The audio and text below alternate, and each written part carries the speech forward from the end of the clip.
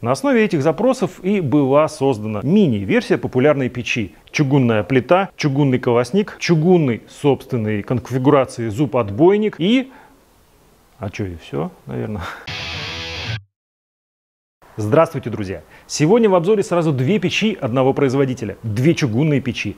Названия у них весьма похожи, хоть и разные. В общем, сравниваем печи Бахта и Бахтинка. Напомню зрителям канала, что Прометалл – это довольно молодое предприятие по меркам отечественного печного рынка, а уж по сравнению с мировыми производителями они вообще юнцы. Однако уже сейчас очевидно, что этот воронежский завод постепенно создает новую классику, которая приходит на смену европейским моделям с подобными характеристиками. В своих предыдущих обзорах я как-то старался обходить тему схожести определенных позиций ассортимента Прометалл с европейскими образцами. Но с выходом новой печи, Бахтинка, этого, пожалуй, не избежать. И сейчас вы поймете почему. Но начнем с бегового обзора Бахты. Очень объемная. Габариты 42 на 65 и высота около 70 сантиметров. Тяжелая, 106 килограммов. У нее цельнолитой корпус и из навешиваемых элементов чугунный пламяотбойник, чугунный колосник и чугунная дверца со стеклом, естественно, плита. Все это есть и у Бахтинки, но только исполнение, на мой взгляд, чуть более изящное. Да, у печи все тот же цельнолитой корпус, все те же вставные элементы, но, правда, к пламяотбойнику добавилась колосниковая площадка и стопер от выпадения горящих углей.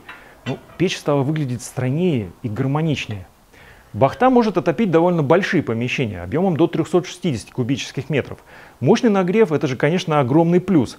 Но вот как быть владельцем небольших домиков, который и большую печь не поставишь из-за габаритов, и жара-то столько не нужно.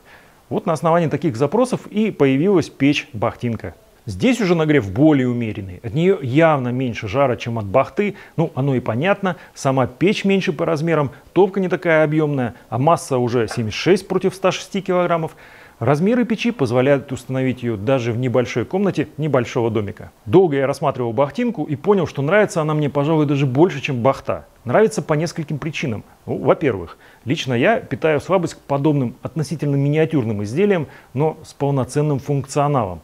Здесь и довольно объемная топка для своих размеров, красивая дверца со стеклом, чугунный стопер, за ней, чтобы угли не просыпались при открытии дверцы. А во-вторых, у этой печки есть возможность изменить способ горения с колосникового на подовое, убрав колосниковую площадку.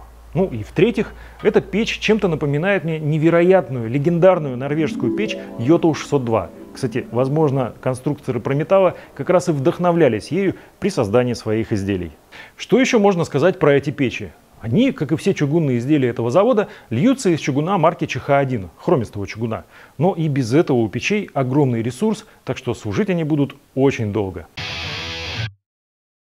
С появлением Бахтинки у тех, кто планировал установить чугунную печь в доме, появилась отличная возможность выбрать небольшую печь, способную не только обогреть и накормить, ведь на ее чугунной плите при необходимости можно и готовить, но и радоваться игрой пламени за стеклянной дверцей.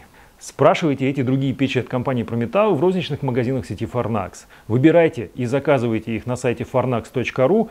Печи-то действительно стоящие. Обо всех новинках мы также информируем своих друзей в соцсетях. Подписывайтесь и подписывайтесь на наш канал Farnax Film.